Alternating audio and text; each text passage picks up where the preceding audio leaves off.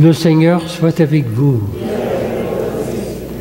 Évangile de Jésus-Christ selon Saint Marc. Après l'arrestation de Jean le Baptiste, Jésus partit pour la Galilée proclamer l'évangile de Dieu.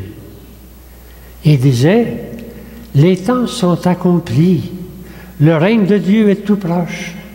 Convertissez-vous, croyez à l'évangile.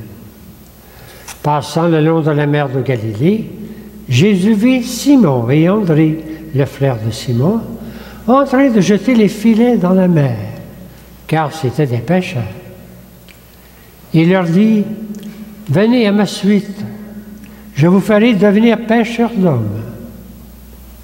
Aussitôt, laissant leurs filets, ils le suivirent. Jésus avança un peu il vit Jacques, fils de Zébédée, son frère Jean, qui était dans la barque et réparait les filets. Aussitôt Jésus les appela. Alors, laissant dans la barque leur père Zébédée avec ses ouvriers, ils partirent à sa suite. Acclamons la parole de Dieu.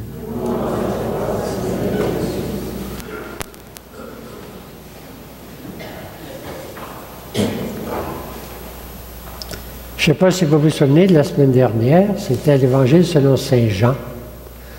Et Saint Jean vient nous montrer comment lui, Saint Jean-Baptiste, il montrait Jésus, voici l'agneau de Dieu. Et les disciples étaient là. Il y en a qui étaient là, Saint-Pierre, André. Et puis alors, ils sont mis le suivre, ils ont dit, on a découvert le Messie de Dieu.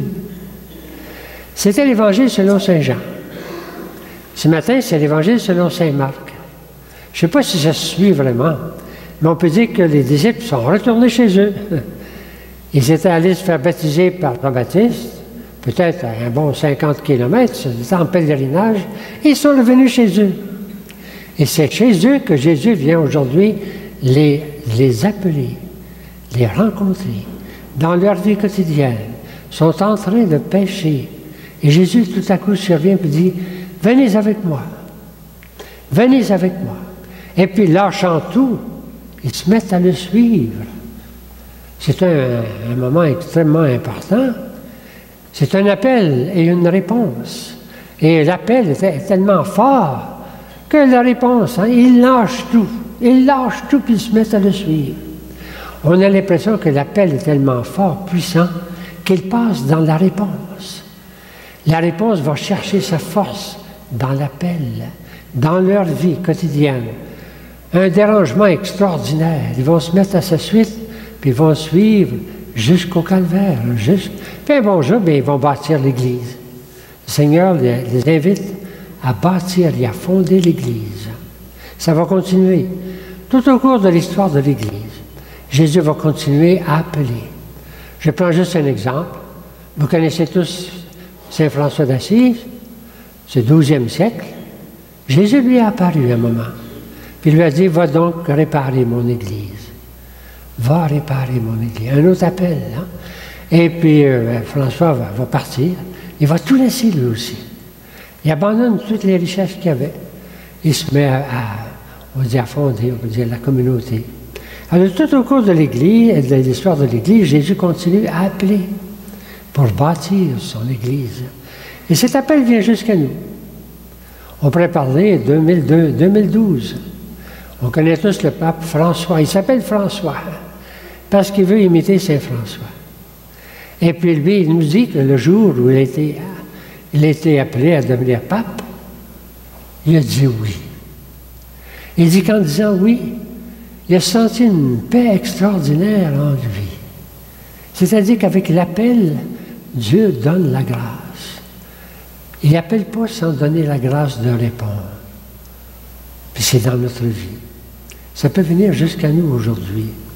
Aujourd'hui, nous sommes comme invités à, à quel est l'appel que le Seigneur nous fait dans notre vie? Il faut que je porte attention. Il faut que j'écoute. Il faut que j'écoute. Et puis, cet appel va me venir par toutes sortes de personnes.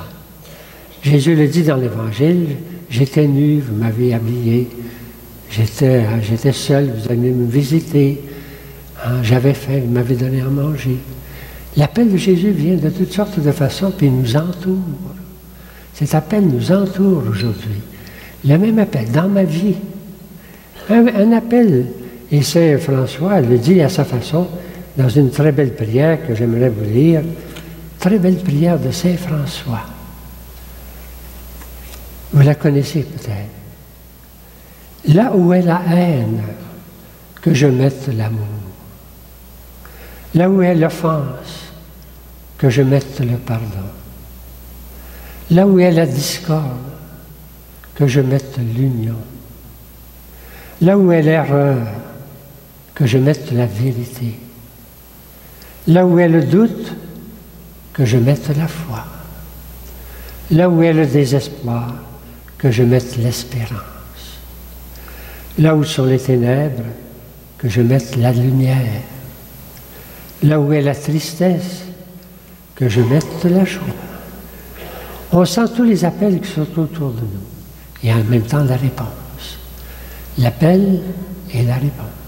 Ça va ensemble. C'est dans notre vie. Comme les disciples, c'est dans leur vie. Et puis ça dérange. Il y a juste une chose qu'il faut éviter, c'est de mettre à votre porte, je ne sais pas si vous avez ça chez vous, mettre à votre porte une petite... Vous savez ce qui est écrit?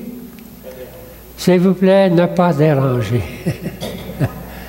si vous avez ça à la porte, vous ne serez pas dérangé. Et vous n'écouterez pas l'appel du Seigneur. Ça c'est aujourd'hui, mais on enlève ça de notre porte, de nos portes, de notre cœur. S'il vous plaît, ne pas déranger. Hein. Le Seigneur dérange. Les appels du Seigneur sont toujours dérangeants. Et ils sont toujours vers les autres, comme les disciples.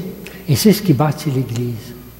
Aujourd'hui, demandons au Seigneur de libérer notre cœur de, de tous les appels. Il y a peut-être un appel dans ma vie que je n'ai pas encore écouté.